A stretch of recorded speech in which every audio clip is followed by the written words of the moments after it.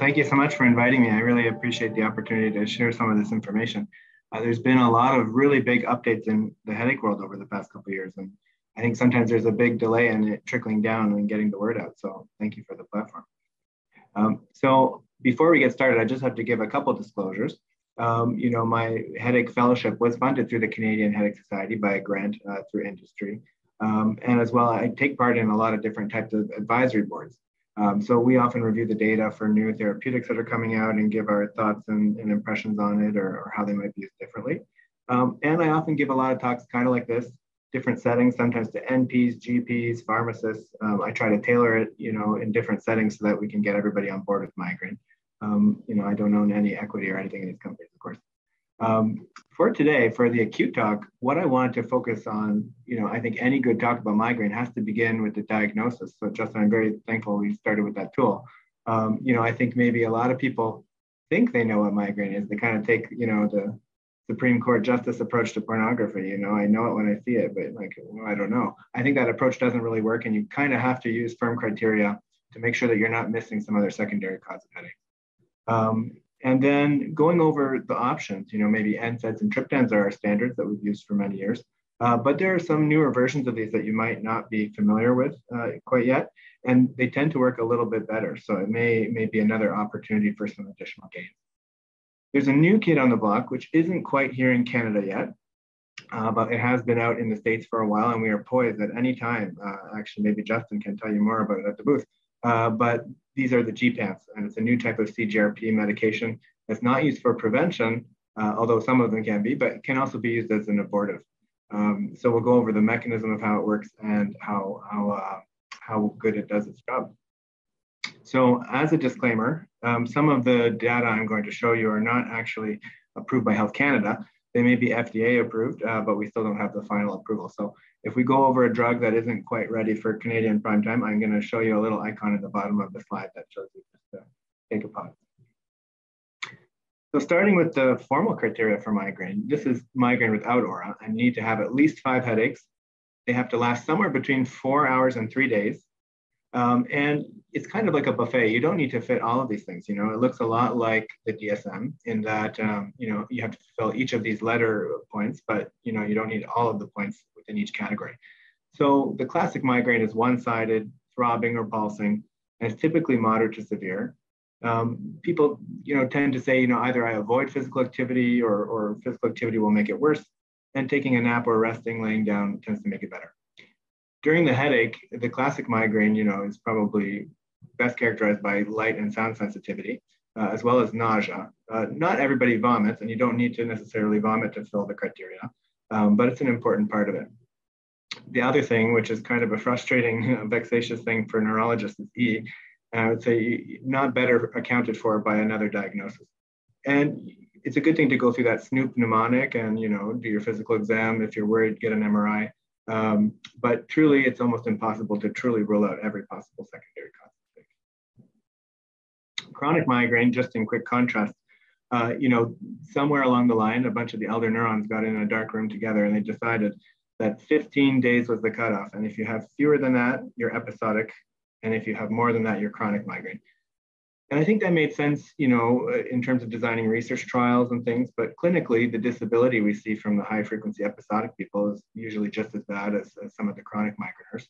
Um, and, you know, maybe physiologically, that doesn't always make 100% rational sense. You know, for me, a more important distinction is those people who have discrete episodes of multiple headache days with, you know, periods of quiescence in between and the 24 7, 30 days a month kind of person. And, and maybe that's more important. Um, so those definitions are evolving now as we gain a bit better understanding. Um, but just to, to remind you of the diagnosis criteria as they stand.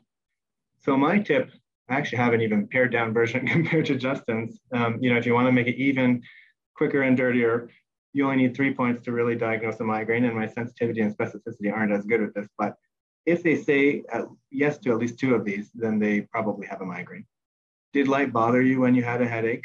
A lot more than when you don't have a headache in the last three months, did it limit your ability to work, study, or do what you want to do, family activities, shopping, anything? And nausea, did you feel sick to your stomach? And if you said yes, the sensitivity is, you know, just over 80% and the specificity is 75%. So, you know, maybe not as good, but if you only have, you know, five minutes to take a quick history and you're working in tiny intervals, this might be a useful tool for you in the clinic. So, uh, so I think it, it, could be useful. Justin alluded to those red flags, and uh, Dr. Dodick, one of our headache luminaries, you know, talked about uh, this in his uh, paper on it. Snoop. So, you know, systemic signs. Do they have, you know, signs of rheumatism or another autoimmune or inflammatory condition? systemic infection, malignancy, um, any kind of neuro sign or symptom, which can be vague because migraine comes along with things like brain fog and vertigo. Uh, so it's, it's looking more specifically for things like, you know, I have a fixed sensory motor deficit, or I'm going like blind in one eye for periods at a time. Crescendo, like thunderclap, and this can be kind of difficult. It really takes a careful history because a lot of patients feel their headaches are severe and come on quickly, but it really means like within a split second, bam, it hits you like lightning and it's the worst headache you've ever had um, older age of onset, you know, anybody over 50 who's coming to me and they say it's a new headache, and you dig deeper and you say, well, are you sure you never had them earlier in life or as a kid? Um, and they're clear about it. You know, that's kind of a strange presentation. That's not usually migraine. And so just by rote even, I would order ESR and CRP on these individuals just to screen for giant cell arteritis. Um, because the classic criteria we use are probably missing a lot of cases of that. And then, you know, are there changes in the pattern? Is the phenotype stable over time or is it progressing into something weird? Does it make them concerned? I mean, that's the biggest red flag if the patient is very worried. Um, and can it be provoked by certain manipulations, turning their head a certain way? Uh, you know, you can tell them not to do that, but that's not a good solution. Um, and postural. As we study headache more and more, looking for these things, I mean, the list just keeps expanding more and more and more. So it gets a little bit more complicated, and sometimes you'll have to fight with the radiologist. But I would say if you do have these features, um, you know, in your history, and I ask them routinely on everybody, I think it's reasonable to do a comprehensive neuro screening exam and consider an MRI with, you know, possibly gadolinium or venography, depending on the presentation. So just to, to show you the slide, it's, it's a good summary. Um, I want to stress that migraine is more than just a headache. You know, so it, it, we all know that there is often an aura form that comes with migraine and precedes it by you know, five minutes up to an hour. But there's a postdrome and a prodrome. And, you know, like my favorite patient, I think he got bounced around from a bunch of doctors that thought he was just kind of neurotic or anxious. And he's a systems engineer at General Dynamic. And he had a spreadsheet with 127 symptoms that would occur in the week leading up to his migraines. And, uh, you know, I, some of them look kind of laughable, like, you know, I yawn three times in a row and I pee two times right before the migraine starts. And then you start to dig deeper and you're like, oh, these are all brainstem and spinal cord connections, you know, like it actually is documented. And he's just very, you know, in tune with his body and internal sensations. And I think there's a lot that we can learn from these patients instead of just minimizing it. So, you know, I tell people watch out for things like the brain fog, vertigo, neck stiffness, all these kind of things. I mean, it's easy to minimize them and sweep them under the rug, but I think validating them and telling people that, yeah, they're a part of your migraine and you know through the MRI in your exam we've ruled out scarier causes, it provides a lot of reassurance. Another thing I hear a lot of times is like, I'll get a lot of referrals from people that just say headache, question mark. And you're like, okay. Uh, and I know people are busy and they're, they're struggling, but uh, I think to just give an idea of the prevalence of this problem, like some estimates suggest that it's 15 to 20% of Canadian population will be affected uh, by headache, uh, migraine specifically, at some point in their life. And, you know, of those who have it, very few actually reach a formal diagnosis. And then you consider that there's like 1,080 practicing neurologists, and like over a third of them are over 60. You know, if you do the math, it's impossible. I, I would say even fewer of those neurologists have an interest in headache specifically. Uh, so I think it's important that we kind of take an interdisciplinary approach. And there's so many points of contact where we have the chance to diagnose migraine and get them on the right path and make sure that they're enjoying more days of their life, you know. Uh, so that involves neurologists, GPs, NPs, physician assistants, psychiatrists, psychology, ENT, dentistry, uh, pharmacy especially. I can't believe I left that out. Um, but I think it's a team effort and, and bringing it to attention, telling patients that there are options. You know, I have so many patients that came to me and they said, I wish I had met you 10 years earlier uh, because I never even knew that these were migraines and I had medicine for it. So back to the clinic, what can we offer them once we get to that point? Acute medications. You know, sometimes we're in a rush and we want to get them on the right preventive and we jump to that immediately. And the acute stuff sometimes falls under the, the wayside and, you know, we just kind of rely on like T3s over the counter or something. The mainstay are the NSAIDs and the triptans. And of the NSAIDs, my favorites I've listed here. I use Cambia quite frequently, and we'll go over the data for that briefly. Uh, naproxen is a tried and true, you know, it's very cheap and old and wonderful. And for the people that talk about gastric sensitivity, uh, one little secret of mine is nabumetone, which I picked up from Christine Lay over at Women's College. It's got a slower onset of action and it's a lot milder on the stomach. So I tell patients, you know, try this one just a couple times and see if you're better able to tolerate it. And many of them can. Um, so, you know, I would I would say keep an nabumetone in your pocket for those people that say they really get dyspepsia. Uh, Cambia I like for its onset of action. When it comes to triptans, um, there's a bunch. There's a rainbow, you know, maybe seven or so and they all have slightly different pharmacokinetics, you know, when they peak and, and how long they stick around. Um, and there really is no right answer. You know, a lot of people have voodoo about how they select them, but I would say start in the middle with something like, you know, rizatriptan or eletriptan. And then if they're not strong enough, you go up to things like Suvexx or com- combining NSAIDs with triptans. And if they're, you know, having a lot of side effects, I tend to move towards something like Almo or Naratriptan, which we often use in pediatrics, and you can kind of use a bit of uh, gentle persuasion to tell them that you know this is very tolerable in young children. Um, the other secret is combining them, and sometimes putting a triptan with the NSAID is you know a little bit of synergy there. So the gestalt effect of it is that one plus one equals three kind of thing. Um, so you know the trouble there is that even when you tell patients and they understand it, they're hesitant to combine it because all of us want to take as little medicine as possible. You know, no one wants to overdose. Um, but it is very safe and very effective to combine it. And that's where, you know, formulated pills that combine both agents are, are kind of a useful trick there.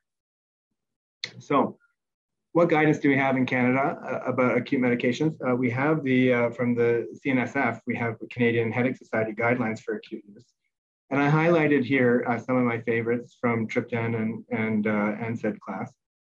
Now, triptans, it's important to remember there are contraindications. Uh, you, you do have to quickly go over their history and make sure that they don't have any kind of ominous vascular disease.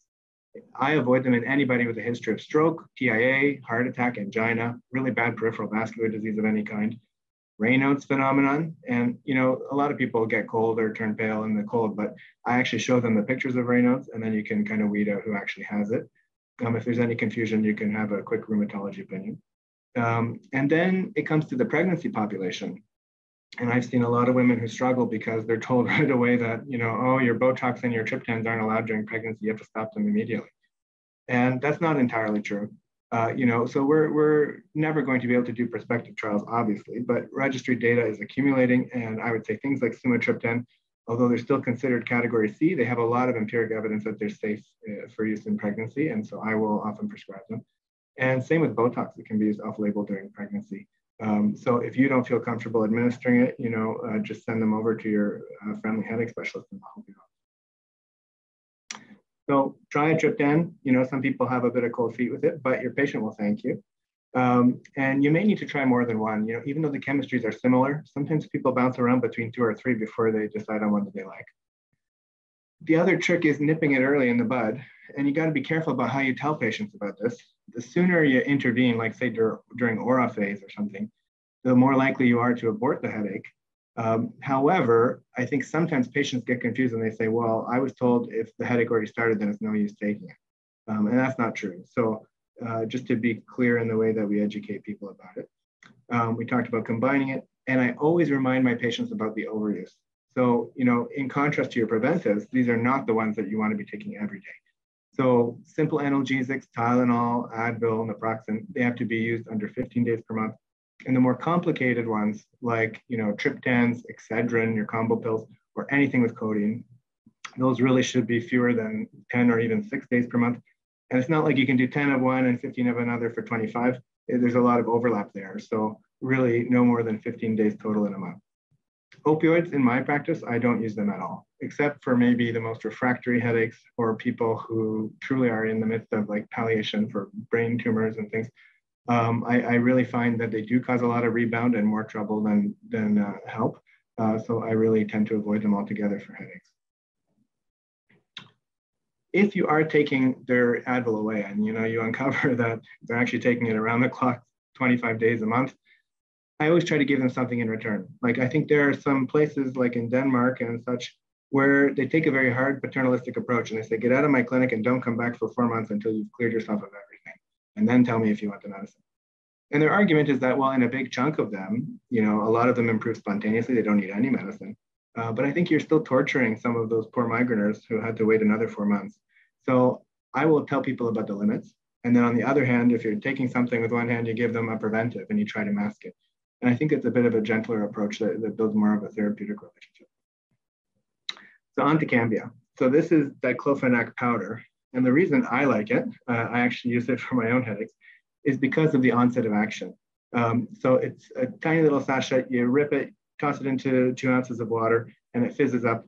It unfortunately has a bit of a used mouthwash flavor, so it's not everybody's favorite. It tastes like mint and uh, anise, um, but the flavor is worth it because it, it is very effective. And so just to show you, uh, you know, a typical diclofenac tablet, as opposed to the Cambia preparation, it will peak in the serum around one hour, whereas Cambia peaks at about 15 minutes. Um, and so it's great for people who are waking up with a migraine, of a very fast acting onset, um, you know, or they just want to get immediate relief. So measurable plasma levels within five minutes, peak is at 15, and food doesn't impact it the same way that you might with a slower release tablet. Um, just quick profile comparison with ibuprofen and naproxen, you can see it's a lot faster. So that's why I, I prefer this one. If you're looking at it versus triptans, I mean, subcutaneous sumatriptan is a good immediate vehicle, but it's very hard to convince patients to administer needles to themselves that way. Um, and otherwise, the triptans, you know, depending on their estimates, range between 45 to 60 minutes for onset. So I would say fast rising attacks, attacks on waking, and also early nausea uh, can be a good way to tackle it. Uh, quickly, we'll just show you the trial data for Cambia. And this is a fairly straightforward trial, had about 800 people. And they took typical migraine with or without aura. And what they were looking for was pain freedom or freedom from nausea, light, or sound sensitivity. At two hours, uh, Cambia was at 25% as compared to 10% for placebo. And just to give you a rough rule of thumb, sumatriptan in a meta-analysis, uh, you know, about 29% of people are pain-free at two hours, so fairly comparable. For nausea, light, and sound sensitivity, again, significant both clinically and statistically. Um, and so I have a lot of patients who had been kind of bumping around on naproxen or Excedrin for a long time, and uh, switching them over to Cambia made a big difference. Safety profile, I mean, looking at this one, it's well tolerated, and to be honest, it's very similar to placebo. In real life, uh, probably what my patients complain most about with it is dyspepsia. They feel it's very harsh on the stomach um, and maybe a little bit of somnolence or wooziness, dizziness. Um, and that's not very common, uh, but it does happen enough that it seems related. My favorite one was I had a lady who told me her migraine elixir was she would mix, pour herself a bath and mix Cambia into a glass of red wine. Uh, and I told her never to do that because, I mean, number one, it ruins the chemistry of it. And uh, second of all, I think it's like rocket fuel will burn an ulcer through your stomach. So, uh, but she swore that it worked. Uh, I do not recommend that. So uh, CHS uh, treatment recommendations for Cambia, early onset action and recommended as a first choice for you know migraine attacks of all severities uh, and also ones that rise in intensity pretty quickly. Sometimes the NSAID isn't enough though. And you know we talked about combining the triptans and NSAIDs. Sumatriptan uh, with naproxen is combined in a single tablet called Suvexx. And this is a little bit different from each agent alone because they formulated both uh, slightly differently. And uh, so again, it can be used for migraine with or without aura. You take one tablet as soon as you think the migraine is coming, and you're able to take a second one in that day. Uh, but you know it's important to tell your patients you're limited because you can't combine this with other triptans or other NSAIDs that day. Um, so quickly looking at these pivotal trials, you can see there were uh, four arms here, placebo versus Suvexx, the combo tab, and then they also looked at each individual component uh, separately. And so Suvexx had, you know, I would say clinically and also statistically significant uh, gains across all arms. Side effects. Um, so looking at this, I would say maybe a little bit more dizziness and drowsiness uh, compared to any of the agents alone, but overall there weren't really any significant uh, new safety concerns that weren't already identified with the individual components. So combination superior to either medicine alone. Uh, early intervention results are improved at both two hours and also for sustained relief at a day. Um, and this one acts faster because of that formulation. So it may be absorbed at 30 minutes, so a little bit of a gain over traditional triptans. And it's, it's pretty reliable. And most of those individuals who had the good pain freedom at two hours, they stayed pain free at 24 hours and they didn't need additional medicine. Um, so that's important. And I think what's neat about it is even though you try to build that therapeutic relationship, you try to convince them to combine the pills, most patients won't combine the separate ones. Um, and so this enhances the compliance or adherence rather um, to the combo therapy. Other things which we won't go deeper into today, but if you're interested, I gave a talk for Migraine Canada and it's available on YouTube. Um, there are neurostimulator devices. So I will often have patients, you know, who don't like those damn pills, and uh, I will direct them over to these. And you know, the issue here is the cost is a bit prohibitive. Uh, so maybe like a Cefaly can be 300 to 400 dollars, um, and you have to replace the pads every so often. Um, and then the gammaCore is a bit of an investment upfront, and then you have to pay for a monthly subscription of a couple hundred dollars. Um, so, so it can be pricey for some, but you know, for others, the gains are worth it, and they get to avoid medicine. Um, the other ones, the eNeura and Nerivio, are not available in Canada right now, um, but who knows, maybe. So, somewhere in the bowels of hell, there is a poor uh, intern at the pharmaceutical company who's casting Scrabble tiles and naming drugs. And I think uh, I, that's how they named this new one, the Gepants. So I'm not entirely sure how they came up with this. Um, but this is a, a, new big development in, in migraine. And the class as a whole is really changing the way we think about our medicines because traditionally we have two arms. We have the acute, which is what you take when you need it, and the preventive, which you take every day. These drugs are kind of blurring the line between those because they can be used differently, both as an abortive or as a regular uh, medicine. So we'll get to that in a second. So what is a gepant? It's a small molecule calcitonin gene-related peptide uh, receptor antagonist. So it's, it's, able to cross the blood-brain barrier. It, it, blocks the receptor that CGRP acts at, and we'll get to that in a second. Um, it's taken orally as opposed to some of the uh, monoclonal antibody injections you may have used. Um, and it blocks the binding of that molecule to the receptor. So the effects of CGRP uh, antagonism as it pertains to migraine include stopping neurogenic inflammation, it stops dilatation of arteries, which isn't necessarily a cause of pain, but it's an epiphenomenon that's related. It stops the transmission of pain. And, uh, you know, it, it is relatively asymptomatic in terms of causing a lot of side effects. You know, maybe a little bit of constipation, but in general, um, it's, it's a very useful mechanism to target. CGRP itself is a very large molecule. You can see this Kekule diagram here, and it's a 37 amino acid neuropeptide it is the most abundant one all throughout the dura, the casing of the brain, and the trigeminal ganglion, uh, which we think is, you know, the main uh, mechanism through which migraine exerts pain. Also located in uh, small nerve fiber endings that, that transmit pain. And it's co-releases glutamate when you activate trigeminal ganglion neurons. And so it does a bunch of different things. In addition to causing inflammation and, and reinforcing nerve signals, um, it changes the way we modulate pain, the perception of pain and sensitization, it also does a lot of weird stuff all around the body, promotes peristalsis, so that's where the constipation comes in. It's involved in wound healing and hormonal regulation, even placental implantation. Uh, but the good news is that blocking it, it's actually quite redundant in a lot of these uh, functions. So, you know, it's one of many uh, agents that are doing these things. So it doesn't seem to cause many side effects. So how did we get clued into this for migraine? Um, you know, it started back in the 80s and uh, we started looking at certain serum and CSF studies, including CGRP levels. And it was increased in people during a migraine, and it dropped when you gave people sumatriptan. Um, you know, it increased during uh, the premonitory uh, phase of that headache before the aura starts even. Um, and you can see that, like, I don't know how they got REB to do this, but they would take healthy controls and infuse large amounts of CGRP and actually cause a migraine in people who had not experienced them before. Um, so, you know, it, they were able to demonstrate the causality. Um, and we were also able to see a difference in the concentrations in both serum and CSF uh, in chronic migraineurs as opposed to episodic migraineurs. So it seemed like there was a dose response. It could cause migraines, um, you know, a response to triptans and drops off.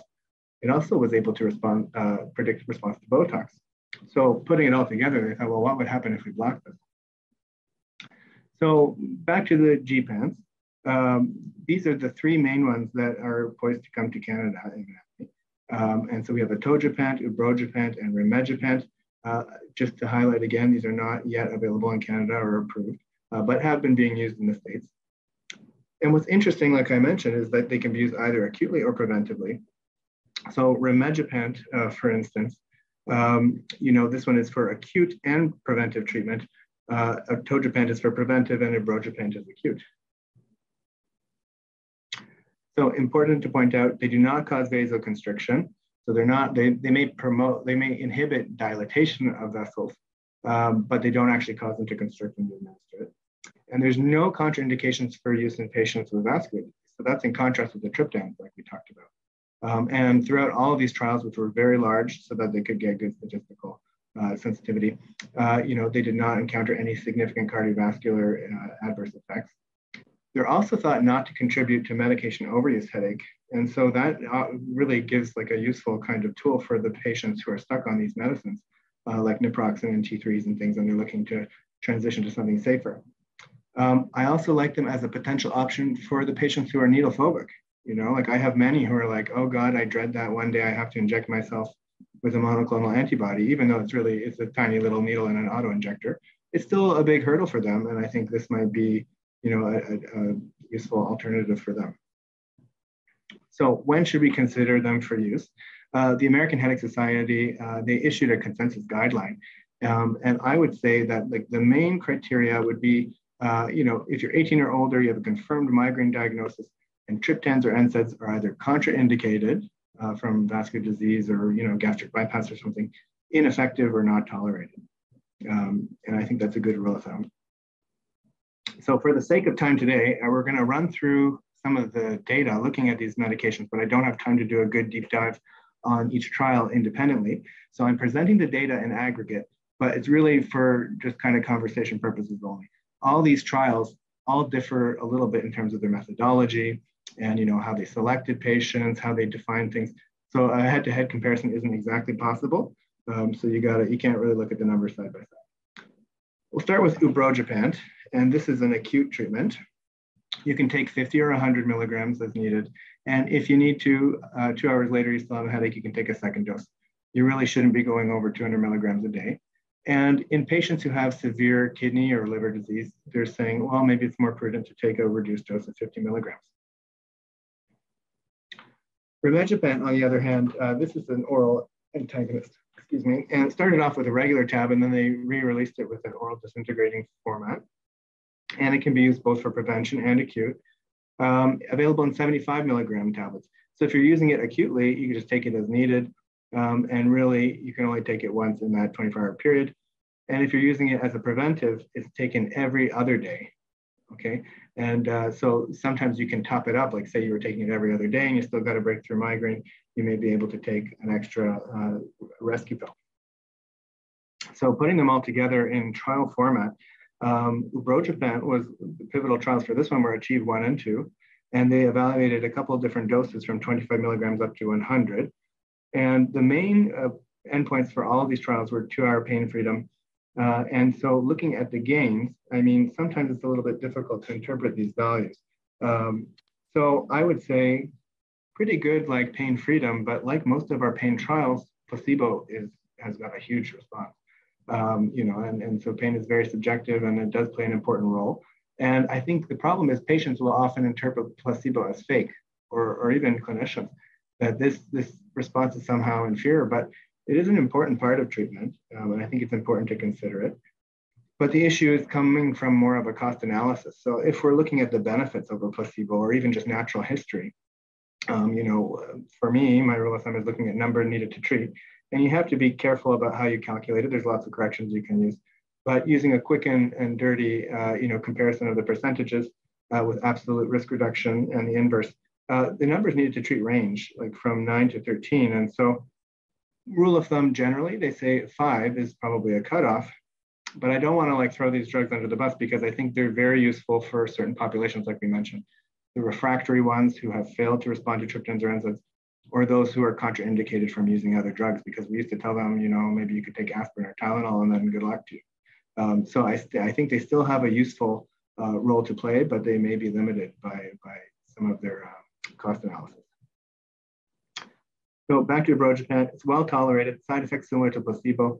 And the most common side effects were probably nausea and dizziness. And there were some concerns about liver enzymes because back in the day, the very first manifestations of these drugs, did have some issues with hepatotoxicity. And so uh, many of the trials were, were uh, concerned with looking at uh, safety signals for this. But uh, with the Liver Safety Adjudication Board, none of the events that occurred were thought to be related to drug itself. For rimegepant, uh, the most common side effects, again, were actually dizziness, nausea, maybe a little bit of constipation. Like I mentioned, it can be used every other day with a top-up medication once in a while, but really you shouldn't be going over 18 doses in a 30-day period. Uh, until we have additional safety data, it probably is safe, but we're not entirely certain. Um, so the recommendation is to stop at 18.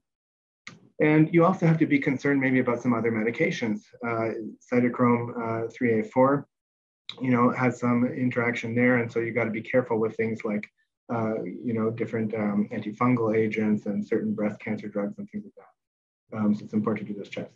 So gepants versus triptans, how do they measure up? That's the main question everybody wants to know. And so there was a great uh, system review and meta-analysis in JAMA uh, that looked at this. And they looked at 64 different uh, RCTs.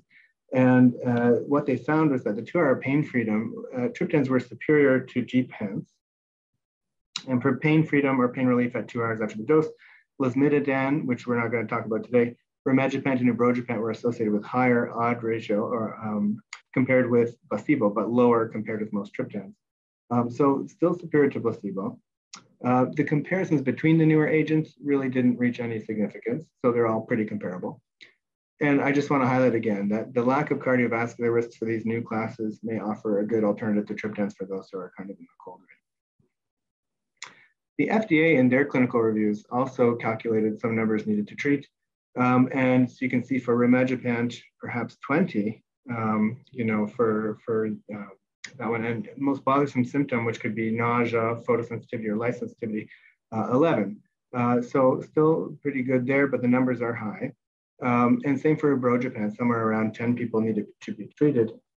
Um, and so if we're looking at like a meta-analysis of triptans, uh, just for a rough comparison, um, there was a great uh, study here by Adelman and, and Belsey, and they found that the triptans range, you know, maybe frovatriptan is comparable to the gepants, around 11.3, uh, but the other triptans seem to range between uh, three to eight or so in terms of numbers needed to treat. And like I mentioned, a general rule of thumb for me, maybe number needed to treat of five or under uh, is generally considered to be like a good cost-effective acceptable intervention. So what are the costs of gepants? Uh, you know, the cost depends on insurance coverage. We don't have Canadian prices sorted just yet, uh, but if we're looking to American prices, you know, a atogepant, Qulipta, 30-day uh, supply can set you back about $1,000 American. Rimegepant, uh, about 900 to 960, and ubrogepant is $85 per dose. So as they come to market, because this is still under patent, it will be a significant barrier to many people who can't afford these medications. Um, but I will say that I've had excellent success and good encounters with the patient support programs they're very helpful with getting uh, those people to the right venues of coverage in Ontario, be that like the Trillium program, we have different types of financial assistance. And if they can't always help with that, you know, there's often an opportunity for some compassionate supply. Um, so, so there are options. One paper that I really love, I mean, I, if you have ever read anything by Elizabeth Loder, she's excellent. Uh, Dr. Loder's over at Harvard and she, she is the headache specialist among many other things. Um, and she has a lot of really interesting arguments and she likes to take kind of contrary positions to, to things at times. And she wrote an article about the gepants and she wanted to criticize maybe the way that the data were being presented because I think oftentimes we focus too much on statistical significance. And so she wanted to hyphen that, you know, like trials are very well designed and they have many, many patients, which makes it easy to achieve statistical significance. Um, but it's important that we really reflect on how useful these are for our patients. And so again, she kind of highlighted the emphasis on that number needed to treat. Um, but I think in contrast to her opinion, like I mentioned, this is a useful tool for those who really have failed to respond to other things and uh, you know who who perhaps uh, may may benefit because of contraindications. So in summary, NSAIDs and triptans remain the mainstay of acute management of migraine. Cambia offers a faster acting NSAID option. So if you have a patient who's been stable on naproxen or something for a while, try switching them over and just see how they do. Suvexx improves adherence in combining therapies, which can be a great strategy for those who aren't responding to NSAID or triptan alone. And there's some synergy there. New migraine treatments have arrived to market, like the Gepants, and more are likely on the way. And the small molecule antagonists are effective, safe, and well tolerated. Great options for people with contraindications or failures to the traditional acute abortives. Um, you know, they seem to be very safe from a cardiovascular point of view, but questions remain regarding the cost effectiveness and, and access in our markets. So I want to thank you for this, and we're going to take a brief pause before we transition on to uh, the preventive options. But Any questions or anything? Um, we do have some questions. Um, would you like to take them right now? A few of them? Sure, that's fine. What, what time are we at? Yeah, we're at 11:35, so we have about 25 minutes until our formal Q&A. So yeah, we can take a few questions, no problem. Perfect. Okay. So there is just a fall. First of all, let me say thank you for your first presentation. It was a neat journey to see the faithfuls, the old faithfuls, or the tried veterans, if we want to call them that, to seeing the new um, and especially the the new ones that I still can't pronounce very well. Um, so thank you for that, and thank you for adding some humor to you know a very um, important um, topic. Um, I think you you spoke um, and took us through the journey very well. So we have a question just as a follow up um, is there evidence to support Botox use in pregnancy? Um, in her area, um, this is one of the persons who asked the question, um, there's some hesitancy to use Botox for migraines in breastfeeding women as well as pregnancy. So I'm curious if you can comment where the risk is much less than in pregnancy. Sorry, not comment on that. Let me clarify. She said there's some hesitancy to use Botox for migraines in breastfeeding uh, women as well as pregnancy, where the risk is much less than in pregnancy. So, could you comment on that about the evidence? Yeah, yeah. I think like we do have registry tr- data, and you can talk to your friendly AbbVie rep if you and and they'll redirect you to the MSL who can go over some of that with you. Um, there's also a lot of other headache experts. Like I have friends in Montreal, Liz Leroux and Heather Pim, and they have large series of patients who are receiving these. I, I'm not concerned because a very small sub percentage amount of Botox actually enters the circulation. The vast majority of it stays where you inject it. You know, maybe it tracks back along nerves or through dural suture lines or something, but even that's kind of controversial. Um, I would say we have some interesting case reports that, for me, make suggest that it's safe. Like there's a woman who got systemic botulism while pregnant at the like early in, in her first trimester and she's paralyzed in the ICU on a ventilator and everything, and carried the child to term in the ICU with systemic botulism. And the child was born perfectly fine without any issues. And I know that's an N of one, but still, it kind of suggests to me that even with large amounts of flooding the system with a botulinum toxin, that it's still probably very safe. Um, and then again, we do have these, you know, instances where people are taking Botox injections and don't know that they're pregnant, or they're taking it because they don't care anyway because the migraines are so bad. And so we have collected these data retrospectively, and, and it seems very safe for me. I think the fraction excreted in the milk also is very, very small. So I'm not particularly concerned. I've never heard of any actual adverse events from it. Um, so yeah, I think it would be good to get in touch with the MSL from Allergan. They're able to provide you with, with those data. No, thank you for that. And we've been talking about this for the last day and a half, and especially this morning about the whole person, about looking at um, where are their traditional beliefs coming from, where are their important uh, touch points. And so, um, one question is quite quite broad, and I think let's dive into it. It's really important to do. Someone who suffers from migraines chronically, um, and maybe hears about these new medications, but is like, oh, hesitant um, or maybe they want to look at other aspects. Maybe they've heard about this or that. How can we breed and bring that hope to someone who's chronically experiencing migraines? It will take a radical restructuring of the neurology consultation. In my clinic, every patient gets a 90 minute consultation to start. And so we go through everything with a fine tooth comb and we go over all their lifestyle, psychiatric history, history of adverse childhood events, and everything. We're going through this in such fine detail and trying to get them to resources like psychology, CBT. Um, so we, we also look at everything in lifestyle from caffeine intake to exercise, sleep habits, everything. And so we really have that opportunity in an hour and a half to dig down and identify those problems. If I if it's a very difficult consult, I don't have enough even in 90 minutes. I'll be referring them off to sleep psychiatry or other things like that if you're lucky enough to have it in your area. Um, so making those connections with the other providers, it really does take a whole village for a lot of these migraineurs. Many of my patients come away and they're like, you know, I've seen three other doctors for migraine and they saw me for 15 minutes and they never talked about any of this. And I think it's important to do because I have some patients even that come back at follow up and they'll tell me, well, to be honest, I didn't trust you at first. And so I just wanted to try the lifestyle stuff first. You know, I added more morning protein, I'm drinking water throughout the day, I'm exercising, and all my headaches are gone. So they were dehydrated and undernourished, you know. And so I think it's good to check those as well before you throw medicine at people.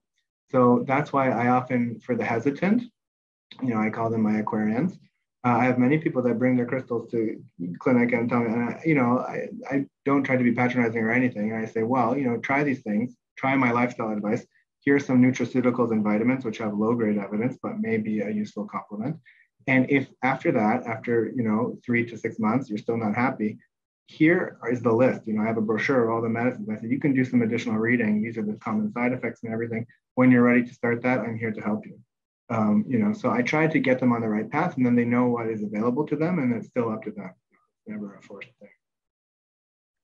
Well, I think you're setting the stage for a 90 minute consult revamped. Wow, that sounds wonderful. and I and I think this is gonna gonna lend itself well to further conversations. And um, you know, hopefully, I know that's happening um, within our realm here in, in Western Canada too, but um, we want to keep pressing forward for changing things. And we talked about some positively disrupting aspects of our healthcare system. So thank you for sharing that.